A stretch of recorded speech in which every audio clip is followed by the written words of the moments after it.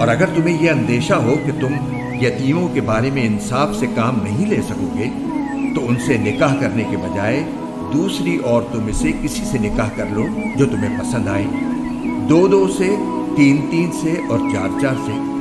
हाँ अगर तुम्हें यह खतरा हो कि तुम इन बीवियों के दरमियान इंसाफ न कर सकोगे तो फिर एक ही बीवी पर इक्तफा करो, या उन कनीज़ों पर जो तुम्हारी मिल्कियत में है।